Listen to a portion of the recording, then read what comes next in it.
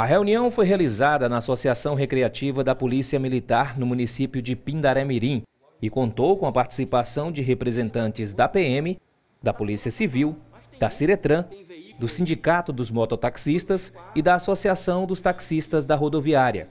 Em pauta estavam as definições sobre a regulamentação do serviço de transporte de passageiros em Santa Inês. Gildean Lima, presidente do Sindicato dos Mototaxistas, cobrou das autoridades mais rigor em relação às fiscalizações. Segundo Gildean, algumas pessoas ainda estão trabalhando de forma clandestina no município. É uma tecla que a gente sempre vem batendo muito, muito, muito mesmo. Tem muito, muita gente trabalhando ainda com os coletes de tecido, né? Tem gente que já tem para mais de 10 anos trabalhando na função de mototaxista, mas não conseguiu se encaixar com a gente, por N motivos. Né? E por isso a gente marcou mais essa reunião aqui, pra, juntando Polícia Civil, Polícia Militar, a diretoria do Detran, o sindicato e até mesmo o representante dos taxistas está é, tá conosco aqui, pra, fizeram presente. Né?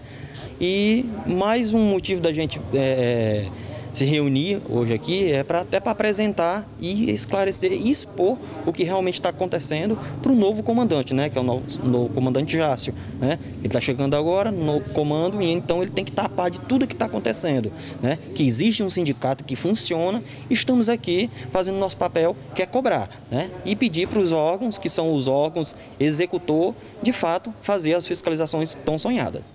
Carlos Alberto Silva, que é o presidente da Associação de Taxistas da Rodoviária, também pediu providências quanto à fiscalização, principalmente no terminal rodoviário de Santa Inês. A gente vem, é importante né, assistir a reunião, saber o que está sendo decidido, o que vai ser combatido. Né? Então, e a preocupação, como eu trabalho na rodoviária, é com o nosso setor que é muito hostilizado. Né? É, uma, é uma situação crítica rodoviária. Né? Agora mesmo próxima, né? O cidadão chegou lá pegar um táxi, né? E pegou um cidadão se passando por taxista e que foi assaltado. Levaram tudo os bens das pessoas e foram jogados. Então, mas nesse momento, né, a gente vê que parece que não tem muita coisa a ser feita lá, né? Mas a esperança continua, né? E a gente só tem é, agradecer, né, as autoridades que estão é, é, fazendo, montando estratégica, né? Para combater esse tipo de pirataria e até criminosos mesmo que vão para a rodoviária, né?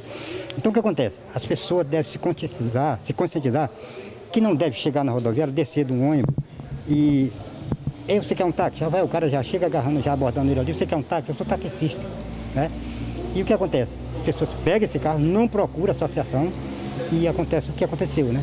É assaltado, leva todos os bens e fica difícil de identificar o cidadão porque ele trabalha né, clandestinamente, né? Então é, é, fica difícil é, encontrar esse cidadão. E fica por isso mesmo e acaba acontecendo de novo. Né? Gilson Ximenes, chefe da nona Ciretran, falou sobre as providências que devem ser adotadas pelos profissionais de transporte de passageiros para que os mesmos possam desempenhar a profissão dentro da legalidade alguns acordos e indicações do Ministério Público foram realizados é, a questão do preposto, a questão do, da, da, do licenciamento do veículo que não estava no próprio no, do nome do mototaxista e esses pontos serão é, colocados estritamente como está na lei. Ou seja, a partir dos próximos licenciamentos, o veículo terá que estar no mesmo nome do alvará. Já o comandante do 7 Batalhão da Polícia Militar Járcio de Souza, enfatizou a importância da regulamentação dos dois serviços. Nós fomos demandados pelos taxistas mototaxistas a respeito de alguns problemas que estavam ocorrendo e provocamos essa reunião, conseguimos reunir aqui algumas pessoas e é uma primeira reunião. Nós podemos fazer outras reuniões e de, de imediato já iniciar a fiscalização do trânsito através da conscientização, mas com certeza nós vamos ter algum, algumas apreensões. Nós vamos fiscalizar todo mundo, os, os taxistas que estão com avarás legalizados e também os que estão nessa situação de irregularidade. Nós não podemos fazer um pré-julgamento sobre as pessoas com relação à criminalidade, mas nós vamos fiscalizar todo mundo. Quem foi encontrado, né, qualquer situação irregular, vai ser conduzido à delegacia ou à Ciretran. O delegado regional Elson Ramos disse que as fiscalizações são necessárias para evitar que algumas pessoas usem a profissão para cometer crimes.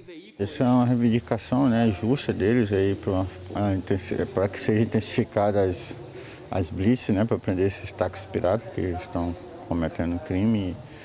E a gente vê que dá o apoio a eles, né, a movimentação deles, a reivindicação deles, dizer que a Polícia Civil está à disposição.